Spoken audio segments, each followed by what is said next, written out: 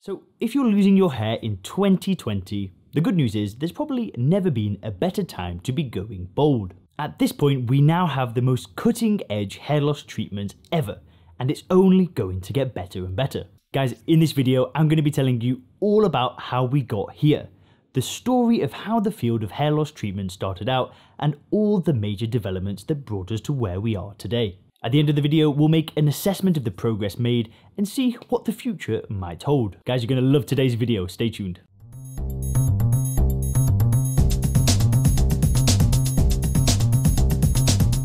Hey guys, Leon here from HairGuard.com, where people who are worried about their hair loss go to regrow their hair. Guys, in this mega guide, we have got a lot to go through, so I've put timestamps for you in the description and in the comment section, so you can follow wherever you want to. And guys, just before we get into it, if you're personally worried about your hair loss, then don't forget to click the link in the description to take the HairGuard hair loss quiz. You'll answer a few short and simple questions about yourself and your hair, and you'll receive free, personalized expert advice on how to regrow it. So guys, into the video. Guys, hair loss has been a problem for men since, well, there were men. So unsurprisingly, we find all sorts of bizarre hair loss treatments in ancient texts. The ancient Egyptians, for example, famously applied a concoction made of various animal fats on the scalp. The fats came from crocodiles, hippopotami, and snakes. Sadly, we don't have any records as to how well the treatment worked out for them, but it's not difficult to guess. Now guys, one of the most famous men in history to suffer from pattern hair loss was the father of medicine himself, the ancient Greek Hippocrates. Hippocrates tried various formulas to stave off his hair loss. One included a blend of opium, horseradish, beetroot, various spices, and pigeon droppings. Yep, you heard that right, pigeon droppings. While his hair loss formula left a lot to be desired, we can credit Hippocrates with one very insightful observation. You can say that this single observation laid the foundation for all modern hair loss science. Hippocrates noticed that eunuchs, men who had been castrated, never went bald. He came to this realization whilst observing the eunuchs of the Persian king, who were responsible for guarding his harem. He attributed this to their lack of, quote, hot blood. So normal virile men who hadn't been castrated had hot blood running through their body, and this could often lead to boldness. Eunuchs didn't have any hot blood and hence never went bold. Now we will return to Hippocrates later in the video. But for now, let's skip a lot of not so important developments and fast forward a couple of millennia to the 1920s. The 1920s is when the discovery of the hair growth cycle happened, and you could say that the modern hair loss science started with this discovery. Now today, the hair cycle is something that we all learn about in school, so we kind of take it for granted. But it wasn't at all evident back then. After all, if you think about it, if you leave your hair to grow, it'll presumably just keep on growing and growing, right? We've all seen photos of women with hair down to their knees or even the ground. So on the face of it, there's not actually that much to suggest that hair grows in cycles. Well, in 1924, an American researcher called Mildred Trotter suggested for the first time that we all undergo such a hair cycle. But it would actually be two years later, in 1926, that a German researcher by the name of Dry described the hair cycle in detail. Dry did his work with mice and he coined the rather unfortunate names that we still use to describe the cycle to this day. Now the growth phase, which is by far the longest lasting of the three and typically lasts for years, was called anagen. During this phase, the hair just keeps on growing and growing. The very brief regression phase that follows he called catagen.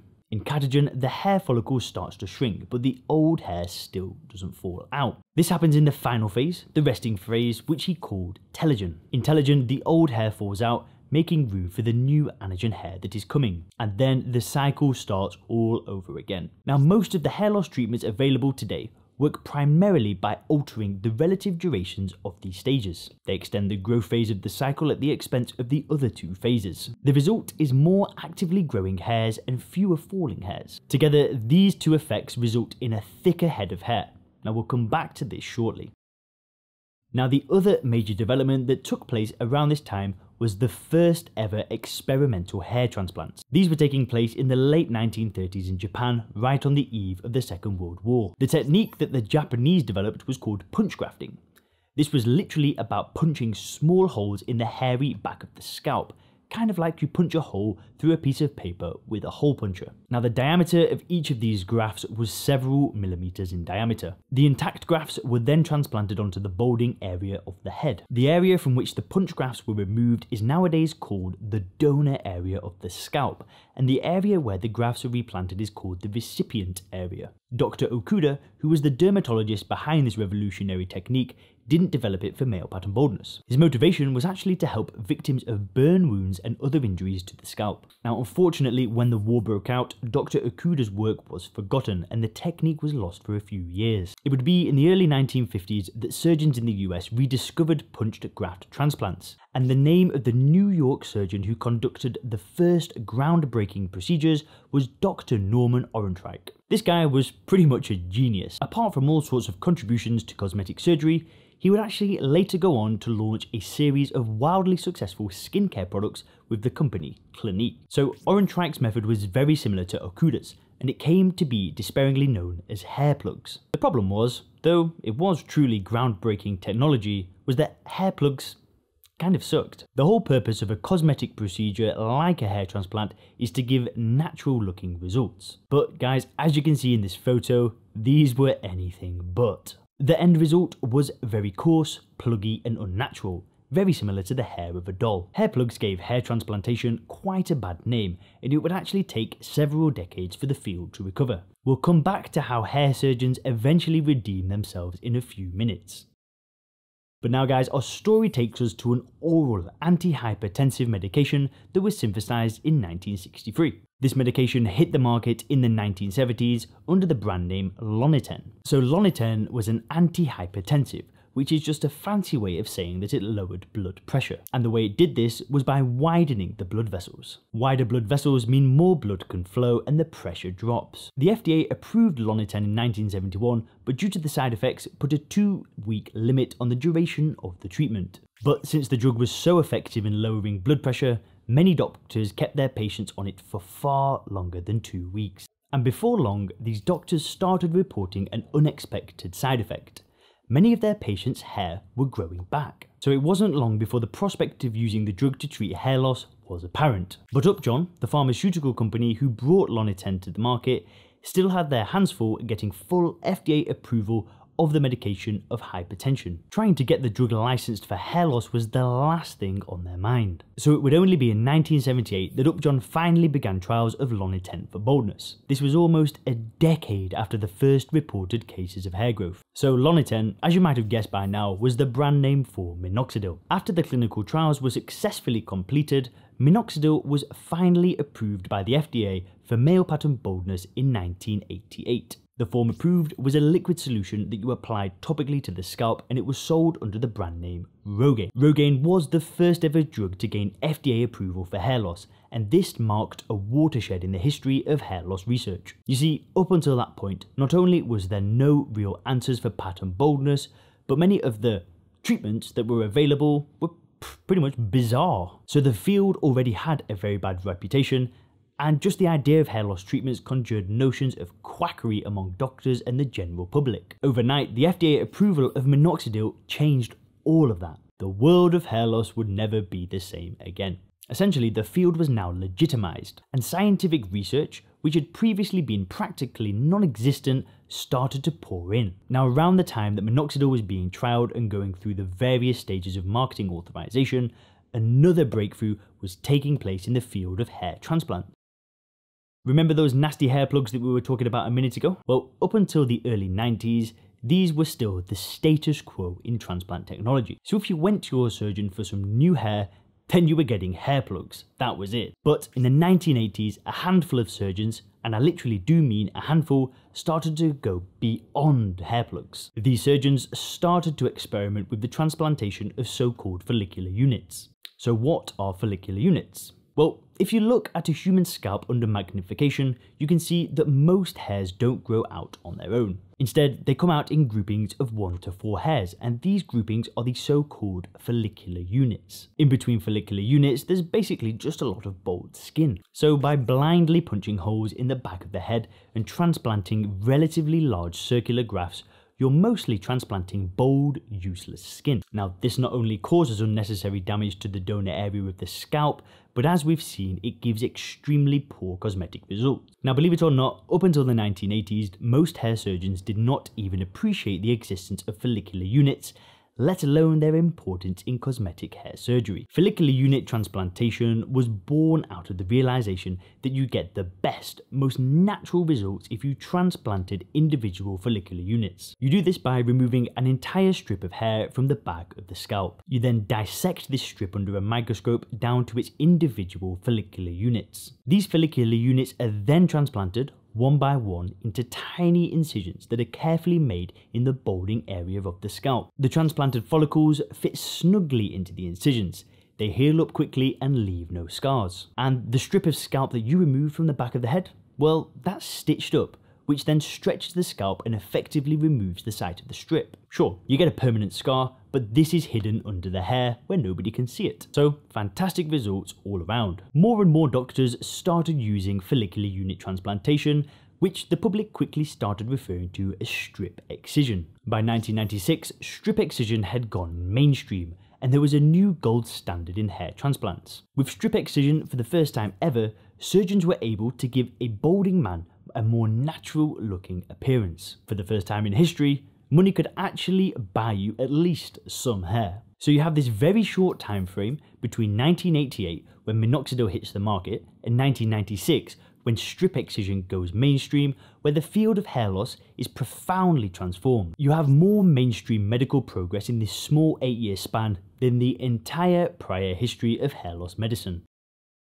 Another advance in transplantation technology would take place about a decade later with the advent of follicular unit extraction, or FUE. In FUE, the unit of transplantation was once again the follicular unit, but the difference was in how the follicular unit was removed from the back of the head. Rather than removing an entire strip of scalp and then dissecting it under a microscope, FUE removed individual follicular units from the back of the head one by one.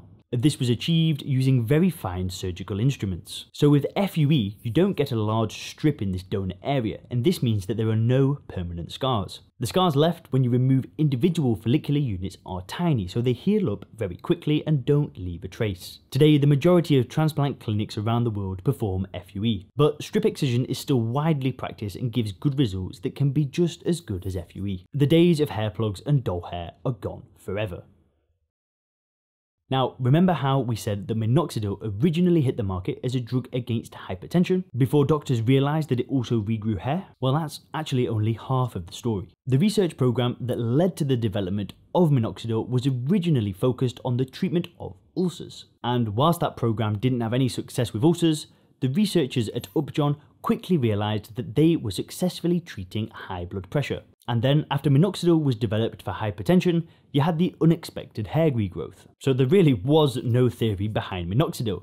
It was all just happenstance and stumbling in the dark, which explains why, even today, nobody knows for sure exactly what minoxidil does to the hair follicles, or how it stimulates hair growth. There's a lot of different theories out there, but these were all made up after the fact that nobody really knows. But just a few years after minoxidil was finally marketed for baldness, another drug hit the market, the drug's name was Propecia and the active ingredient was called finasteride. Now the history of finasteride's development couldn't be more different to that of minoxidil. Finasteride was developed as the result of chemical engineers and clinical scientists being guided by theory and having a clear understanding of the immediate cause of pattern baldness. The origins of this understanding can be traced all the way back to Hippocrates' original observations with eunuchs more than 2,000 years ago. Since eunuchs are castrated, they can only produce very small quantities of androgens, the male hormone. This is because most of the androgen production in the male body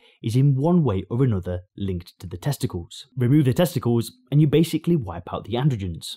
By the 20th century, there was loads of evidence that corroborated Hippocrates' observations and pointed to androgens as the immediate cause of male pattern baldness. This evidence came not only from eunuchs, but also from other groups of males with rare genetic abnormalities. These abnormalities caused very low levels of androgens, and like eunuchs, these men would also never go bald. But scientists still hadn't identified precisely which of the various androgens was the culprit? The answer finally came with a report in the prestigious journal Science in 1974. The authors of the report identified a group of males with a rare genetic mutation in a small village called Salinas in the Dominican Republic. The children born with this rare genetic mutation were genetically male, but due to their ambiguous appearance, they were raised as girls. And when I actually say ambiguous, their penis and testicles were so small that they were mistaken for female genitalia. But during puberty, they started to develop secondary male characteristics, like a deepened voice and increased muscle mass. And at the same time, they also started to develop full-sized penises and testicles, much to the surprise of the parents, and everyone in the community. Now, crucially, for our discussion, these individuals were also immune to pattern baldness. The researchers correctly identified that the androgen that these individuals lacked was not actually testosterone, but rather another male hormone. The name of this hormone, you guessed it, was DHT, short for dihydrotestosterone. All normally functioning men convert some of the testosterone in their body to DHT. They do this via an enzyme called 5-alpha reductase. But due to the genetic mutation they had inherited, the people in these studies lacked this enzyme, and their body couldn't convert their testosterone to DHT. So the reason eunuchs never went bald wasn't because they lacked testosterone per se, but because they lacked DHT, which is made from testosterone. Now, apart from baldness, the other problem these 5-alpha reductase deficient subjects never had to worry about was prostate enlargement. Prostate enlargement is a very common problem that affects approximately 1 in 2 men by the age of 50 and over 90% by age 80. It's not life-threatening but can interfere with normal urination and a lower quality of life. It didn't take long after the report in Science was published for the executives at the pharmaceutical company Merck to connect the dots. Sure, DHT was critical for the development of the sex organs while the male was in the womb but during adulthood it didn't seem to do much. Its only apparent contributions in adult men were receding hairlines and enlarged prostates. So Merck set out developing a drug that could mimic the effects of 5-alpha reductase deficiency in otherwise healthy males who suffered from prostate enlargement. Now, in case you're wondering why Merck focused on prostate enlargement rather than hair loss, well, is the fact is that prostate enlargement is a much larger market. Soon, the engineers at Merck developed a very promising compound with the code name MK906. This was remarkably effective in blocking DHT by inhibiting the function of 5-alpha reductase. In this way, it achieved what had been the goal, replicate, to a large extent, the hormonal makeup of pseudohermaphrodites with 5-alpha reductase deficiency. MK906 was eventually named finasteride, and in 1992 received FDA approval for the treatment of benign prostatic hyperplasia, which is the scientific name for prostate enlargement. After the drug had been marketed for this indication, the company was able to focus its resources on getting approval for the indication of male pattern hair loss. In 1997, finasteride was approved for hair loss by the FDA and hit the market as Propecia in a 1mg pill that was to be taken daily. A few years after finasteride, another drug with a very similar mechanism of action hit the market. The drug was called dutasteride and was sold under the brand name Avodart. Dutasteride is currently licensed only for prostate enlargement in the United States, though it works just as well for finasteride for hair loss. To this day, minoxidil and finasteride are the only two FDA-approved medications for the treatment of baldness. But there is now more research in this field than ever before, and it's only a matter of time before more drugs come to market.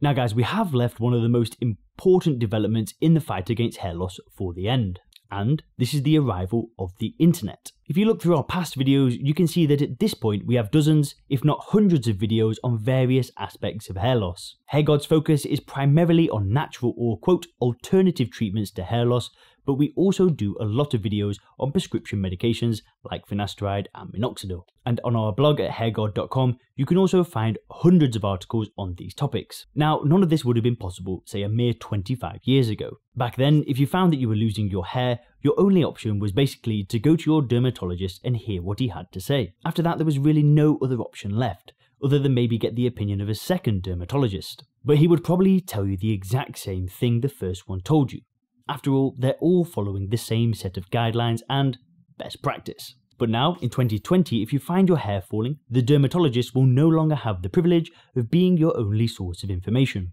Many guys out there won't even go to their dermatologist, and if they do, it won't be until they've done their own research. Through the internet and all sorts of free resources like Google Scholar, PubMed, popular science website, videos like these, you name it, there's no limit to how much a man can educate himself without leaving his house and without paying a penny.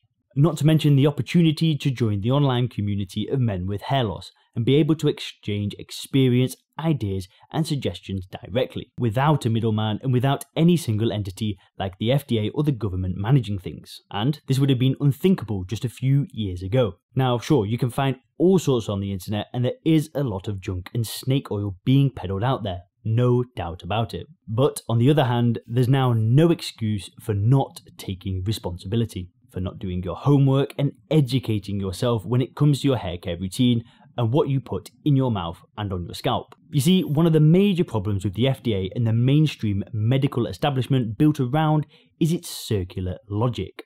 Most dermatologists' logic is that if it's not FDA approved, it hasn't been proven. And if it hasn't been proven, then you best stay away from it. But getting FDA approval for a treatment requires a ton of regulatory compliance and running clinical trials that cost many millions of dollars. Unless you're a large pharmaceutical company with deep pockets, you're just not going to be able to afford all of this. And if you are a pharmaceutical company, you will obviously have no interest in testing natural hair loss products. Because natural products can't be patented. And if they can't be patented, there's just no money to be made, even if the FDA approves them. So this creates a vicious catch 22, where the FDA has effectively labelled all natural treatments as unproven, and this line of thinking dominates mainstream hair loss medicine. But now, because of the internet, you can do your own research and come to your own conclusions. So you can decide for yourself if, say, caffeine is unproven.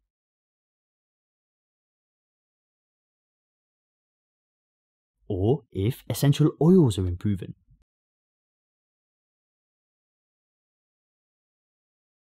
or if scalp massages or products like a Grow brand, which we've covered exhaustively on previous videos and on the HairGuard website, are unproven.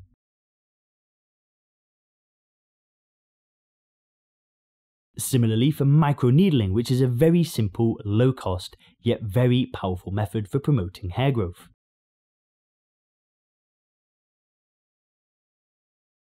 And the list goes on and on. Okay, so I did promise you I'd give you my thoughts on where the science of hair loss stands today and what we can expect for the future. Now, guys, if I had to summarize the field in one sentence, it would be unfinished business. And this refers both to our understanding, the theory of how pattern baldness works, as well as the treatments that we've developed so far. So, the central development in our current understanding of hair loss has been the identification of DHT. DHT is the immediate cause of pattern hair loss in men, and there is no doubt about that today. Not only for the evidence we covered in today's video, but from various other lines of research which we cannot go into in a short video like this. So, men who, for whatever reason, don't have DHT don't go bald. And blocking DHT production in balding men often stops the progression of hair loss. But herein lies a big mystery, and the mystery is this if DHT is the immediate cause of baldness, which we know it is, then why doesn't blocking DHT work for all men? Why do many men still continue to lose their hair after being put on DHT blocking medications like finasteride and dutasteride? And why are we still unable to restore a balding head back to its original state, back to how it was before the onset of baldness? Because even the top responders to DHT blocking medications will only regrow some of their hair, and generally in parts of the hair that have only just thinned out. But once an area of the head has gone completely bald, it cannot grow back. Once the hairline has receded, it cannot be restored, even if you remove every last molecule of DHT from the body. We are definitely missing something. There's at least one more factor involved in hair loss that goes beyond DHT and we don't yet fully understand it. And until it's identified, there's probably only so much progress that we'll be able to make. Having said that, the way science and technology are headed, we might still be able to do miracles in the near future, even if we don't fully understand hair loss just yet. For example, in recent years, there's been tremendous progress in identifying the genetic basis of the predisposition to baldness we're starting to get a hazy outline of the genes involved and the mode of genetic transmission. So, in the not so distant future, we might be able to tell the moment a child is born if and when he's likely to start developing male pattern baldness by something as simple as a DNA test. And since preventing or stopping hair loss is infinitely easier than reversing it, a big part of future efforts might be directed towards prevention, towards stopping these vulnerable men from manifesting their predisposition to hair loss in the first place. This could be through any combination of oral treatments, topical lotions, mechanical stimulation of the scalp, you name it. Another possible area that we might be hearing a lot in the future is, is from stem cells. These could be a game changer. Already some surgeons and clinics are offering hair follicle stem cell transplants on an experimental basis. If the technology matures and lives up to expectations, well, getting your hair back might be as simple as going to your local clinic and getting a few stem cell injections on your head. Too good to be true? Maybe. We'll just have to wait and see. Guys, make sure to check out some of our other videos by clicking on the screen right now. This was Leon from HairGuard.com. Thank you.